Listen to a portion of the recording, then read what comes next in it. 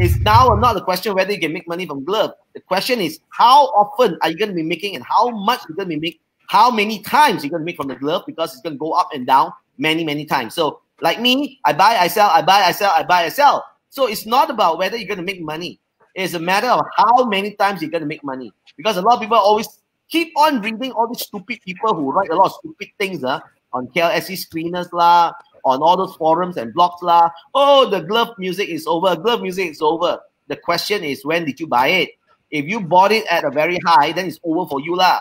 But if you bought it at very low, then it's forever there. Because why every time it goes up, you buy, you, you sell. After they drop it down, you buy back again. It's up and down and down. Lah. The only problem is people keep on chasing a high when it's green and they buy. When it's red, they don't buy because they don't know what the hell they're doing. So the question is not whether you can make money from glove. The question is how many times are you going to be making from glove before the demand actually tapers off?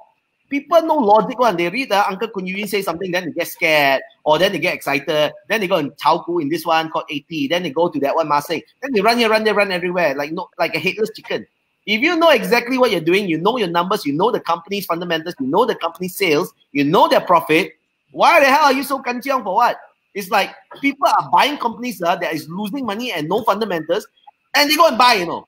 But then when these companies uh, are like the fourth largest and second largest company, and like literally big four, the big four are in KLCI, the big four glove, right? Top glove, Hatta, Kossan, Supermax, all in KLCI. But yet people are afraid that by they go and buy those penny stocks uh, at what uh, 30 cents, lah, 20 some cents, and then they are okay. I don't understand one. Why the hell are you afraid of buying a blue chip company on KLCI? I just don't understand. That just because some stupid people say what? Oh, it's gonna be over, the game is over, your money's gonna be stuck there, stuck your head, man. Have you checked out how much demand what kind of quarter profits are? You know, uh, one quarter of top glove, uh, quarter profit, one quarter only can whack 80, I think, for the last don't know how many years that they started operations to today. One quarter can be more than the entire existence of this other company called 80. Are you aware of that? So I'm not saying 80 will not grow. It will also grow. One quarter will whack 80 for don't know how many years they've existed. That's what I want to tell people. So it's not whether it's going to make money, whether the share price is going to go back up. It will go back up, but it's also going to come back down. So question is, did you buy when it's down?